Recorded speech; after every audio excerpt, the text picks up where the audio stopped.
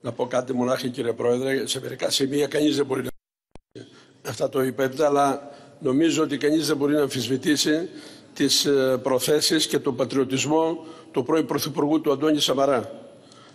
Κανείς δεν μπορεί να τον κατηγορήσει για εθνικισμό, αλλά κανείς δεν μπορεί να αμφισβητήσει ότι, είναι, ότι ήταν πατριώτης. Και το απέδειξε όλη η πορεία του.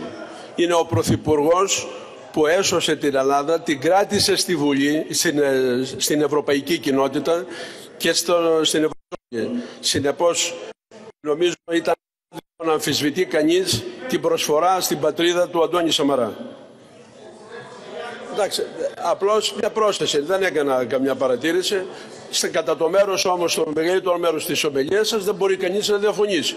Συνενετική ήταν αλλήμωνο, αλλά δεν μπορεί ένα πόντε πρωθυπουργό που έχει προσφέρει τόσα πολλά να τον ε, επιπλήττουμε τώρα.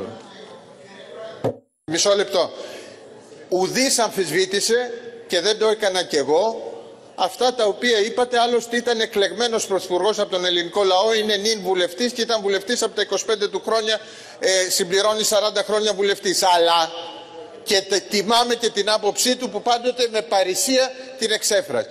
Αλλά είναι ο πολιτικός της χώρας που από κεντρικές θέσεις επί 25 χρόνια επ' αυτού του ζητήματος δεν είχε απλά λάθος απόφαση, ε, άποψη, αλλά την είχε εργαλειοποιήσει σε κρίσιμες στιγμές του πολιτικού βίου και επέφερε διχασμό και επέφερε και ομοιρία της χώρας σε αυτό το αδιέξοδο.